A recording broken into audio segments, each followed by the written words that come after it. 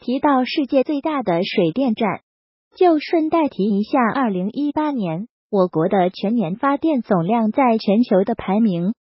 二零一八年中国发电量依旧蝉联世界第一，达到了近六点八万亿千瓦时，准确数值为六万七千九百一十四点二亿千瓦时。一千瓦时就是一度电，同比增长百分之六点八。我国二零一八年发电量占全球发电量的百分之二十五，那么百分之二十五意味着什么？相当于美国、俄罗斯、日本这三个国家的发电量之和。中国三峡水电站，中国用世界百分之五的土地，不仅养活了世界近百分之二十的人口，还用这块宝地创造了世界总发电量的百分之二十五电力。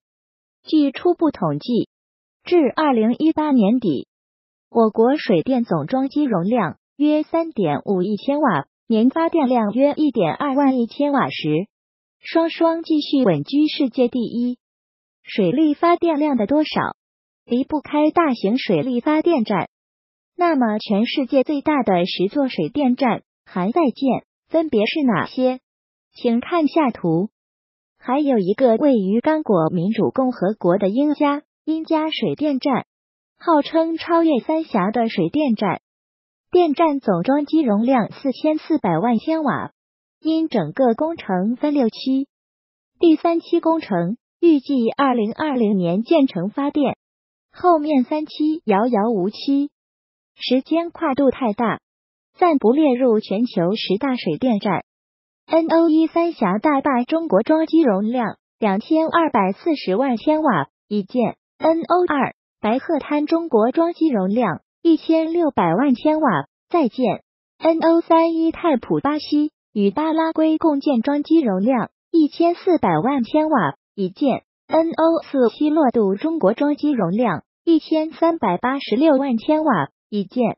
NO 五古里水电站委内瑞拉装机容量。一千二百九十六点五万千瓦已建，NO 六贝罗蒙特巴西装机容量一千一百二十三万千瓦再建，NO 七大古力美国装机容量一千零二十三万千瓦已建，NO 八乌东德中国装机容量一千零二十万千瓦再建，NO 九仅凭中国装机容量八百四十万千瓦已建。NO 十项布鲁伊水电站巴西装机容量八百三十七万千瓦已建。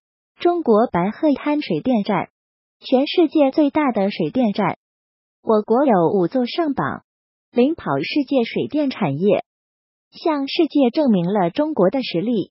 取得辉煌成就的背后，离不开水电行业人的默默付出。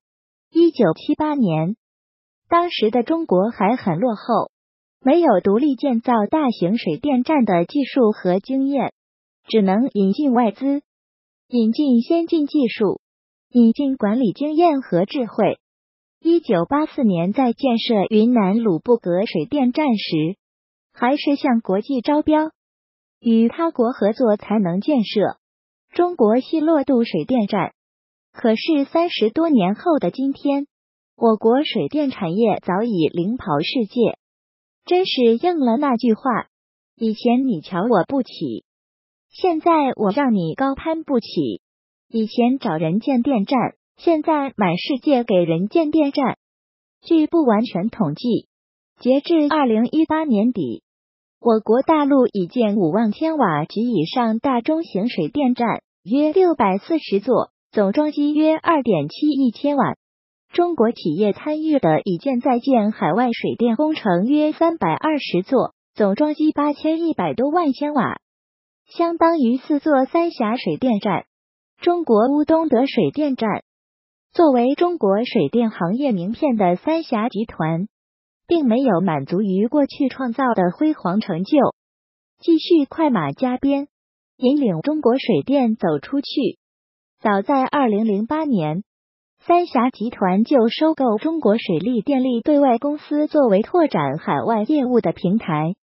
十年来，集团已在全球四十多个国家和地区开展专案九十余个，继续领跑世界水电产业。中国仅凭水电站，难怪有网友说，何须盘点世界上最大的十座水电站？只要盘点一下，中国就相当于盘点了半个世界。